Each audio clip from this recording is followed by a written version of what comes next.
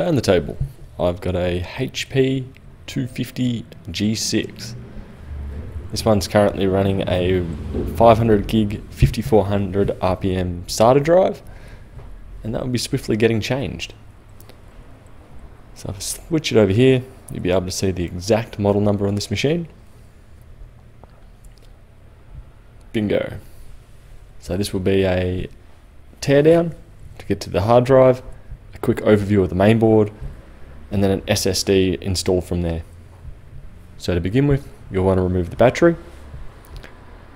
And then from there, you should be able to use a Phillips head screwdriver to remove most of the screws that are obvious. So there's the ones that are uncovered on the bottom. There is the two that are hidden by the battery. And then there's also an extra four underneath each of those rubber feet, which you'd probably want a flat, a small flat screwdriver or a pair of tweezers to be able to access them.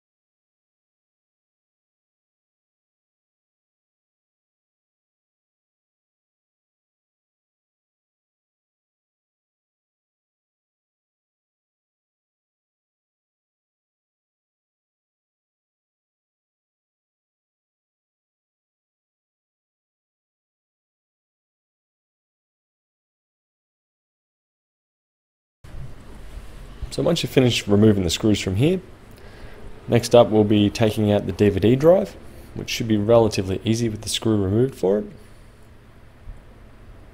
And then from there we'll be opening it up, flipping it over, and you'll be required to use quite probably a soft plastic pry tool.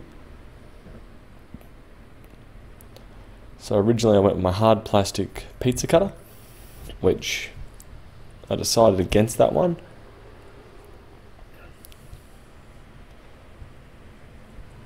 And what I usually do is start from the side that the DVD drive was on, just because there's less ports you can potentially hit. And being it's soft plastic, you should be able to push it between the bottom cover and the top cover without damaging any of the plastic. So it does take a little bit to get it there. This is working along quite well. This is the side that's got the ports on it. That's a bit more of a challenge, this one. We just have to be a bit more careful. So from there, I should be able to open it up from the DVD side. So you do have to kind of twist it downwards as you open it. So I'm kind of pulling it towards me as I was lifting it up. And then we're left with the internals. So the mainboard itself is reasonably small, or fairly standard with today's machines. Let us zoom in and do a quick overview. Here we've got two RAM slots, both DDR4. One is filled, one is not. We have an extremely simple copper cooler for the i3 6006U uh, processor we have a removable DC jack. Then going up to the top here and across, we see the connections for the hard drive. So as I said, the hard drive in this one is quite crap. It's something that I definitely don't recommend using at all these days. But from here, there's really not much holding that hard drive in place. You have the connector itself. You have one metal bracket which features three screws. one of which is only going to the mainboard. So I should be able to take that out, and from there lift up and wiggle back the drive. So we have a Toshiba 500 gig. Now proceed to swap it over.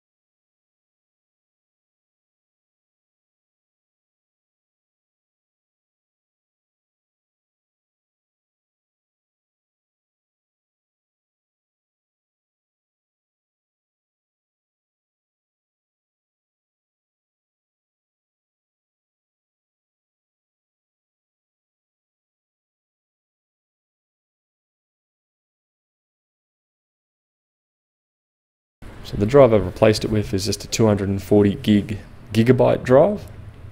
Gigabyte is in the brand. It's fairly similar to a just a SanDisk, similar to a Crucial, I believe it's a MX 500. As I say that, no, BX 500. And also similar to a WD Green SSD. Just clipping the body back on. So I should have zoomed out for that footage, sorry. But you basically you start with the ports getting the cover on it first, where all the plugs are on the left hand side, and then work your way around from there. From here it's pretty straightforward.